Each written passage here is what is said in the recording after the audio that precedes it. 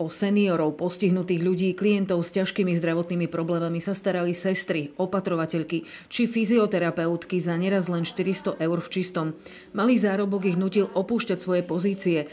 V 25 krajských zariadeniach tak ročne dali výpoveď aj 30 zamestnancov.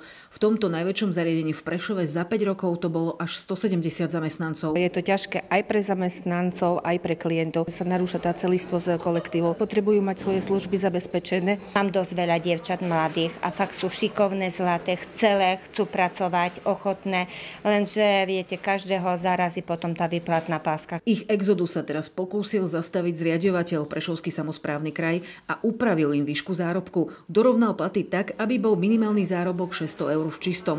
Uvoľnil na to milión eur. Budeme robiť všetko preto, aby sme zamestnancov stabilizovali, aby ostali v zariadeniach, naozaj, aby e, títo zamestnanci mali pocit istoty. Zamestnancom ešte prída na konci roka. V rámci odmien pre nich rozdelí 400 tisíc eur a od januára by si opäť mali prilepšiť v priemere o 10% Ja som presvedčený, že to nestačí. My musíme pokračovať v ďalšom navyšovaní. Aspoň 1000, 1200 by malo byť. Tak aspoň, že sme sa tak prirovnali k tým e, zahraničným. Je to dosť, dosť ťažká práca, aj fyzicky, aj psychicky náročná. Myslím, že to by mohlo byť ohodnocené, aspoň takto. Milión eur využil aj susedný Košický samozprávny kraj v tomto roku rovnako na zvýšenie platov zamestnancov vo svojich 13 zariadeniach. Od januára sa platy budú aj tu opäť upravovať. Priemerný zárobok sa tu pohybuje okolo 650 eur. Diana Murdziková, RTVS.